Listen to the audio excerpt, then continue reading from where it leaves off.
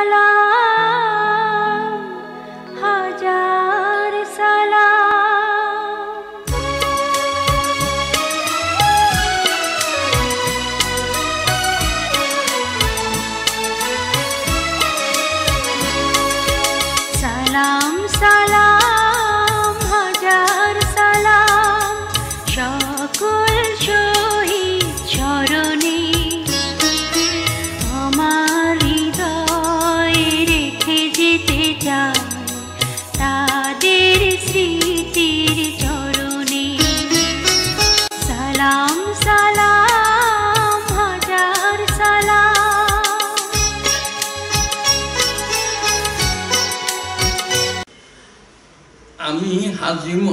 লাল মিয়া আমার আব্বার নাম আলহাস ইউনুস আলী মাতার নাম নসিমন বেওয়ান আমার পোস্ট অফিস ধানুয়া কামালপুর থানা বক্সিগঞ্জ জেলা জামালপুর উনিশশো একাত্তর সালে সেই বঙ্গবন্ধুর ডাকে সারা দিয়ে মুক্তিযুদ্ধ অংশগ্রহণ করছিলাম।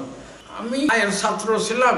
দেশে যুদ্ধ বাজলে পরে কামালপুর বিওপি আগে ছিল ইপিআর এর ক্যাম্প যুদ্ধ বিধ্বস্ত এলাকার আমি বসবাসকারী।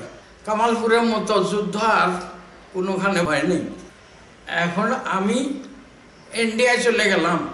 কামালপুর যখন মুক্ত এলাকা ছিল, তারপর এই দিকটি যেতে যেতে যেতে যেতে আমার এলাকা পাক বাহিনী ক্যাপচার করে ওই ক্যাম্প দখল করে দিল পাক বাহিনী। নিয়ে গ্রাম, গঞ্জ সব পুরে সারখার করে দিল। আমরা সব ইন্ডিয়ায় চলে গেলাম।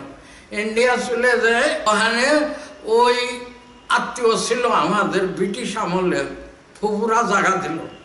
ওখানে কিছুদিন থাকার পরে দেখি আমার সাথী কয়েকজন জমিউল মফিস কমান্ডার বক্সগঞ্জ এখন থানা কমান্ডার। কয়েকজন অস্ত্র টস্ত্র নিয়ে পুক যায়। হাফ প্যান্ট পরা, ওদের হাতে রাইফেল, এসএলআর, স্ট্যান্ড গার্ড।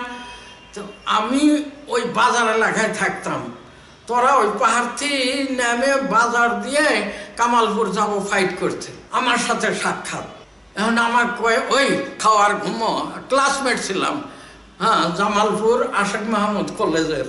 কয়, খাওয়ার ঘুরো ওগর দেখি আমার মন খুব ই হয়ে গেল হাই হাই রে, কি ড্রেস আর কি অস্ত্র? যা আমিও যাম এই জল্পনা, কল্পনা করতে করতে করতে করতে পাঁচটা টাকা ইন্ডিয়ান মার্কটি নিয়ে খোঁজ কোন দিন থানাতে রিক্রুট করব। হুম, তখন রিক্রুট করতো জামালপুরের হাকিম এনসি। হ্যাঁ এনসি ছিল। তা সেই দিন আমি থানায় গেছি। ওই মতিউর রহমান বীর প্রতীক গেছে। হ্যাঁ দুজন একসাথে যায় লাইন দিছি। সেই দিনই হ্যাঁ আর বাড়িতে আসে নাই। একশো বিশ জন এই ক্যাম্পে চলে গেলাম, মুক্তিযোদ্ধা ক্যাম্পে। বাপ মা আনতে গেছিল। হুম, আর দেয় না। ওই ক্যাম্পে থাকলাম সাত আষ্ট দিন। হ্যাঁ সাত আষ্ট দিন থাকার পরে তুরাই পাঠালো ট্রাক আসলো, ওখানে যায় ট্রেনিং দিলাম, আঠাশ দিন। জঙ্গল ট্রেনিং তিন দিন। আবার যে ক্যাম্প থেকে গেলাম, এই ক্যাম্পেই অস্ত্র দিয়ে হ্যাঁ ফয়জুর কোম্পানি কমান্ডার যুদ্ধকালীন। আগে ছিল ইমারত, হুসেন পান্না।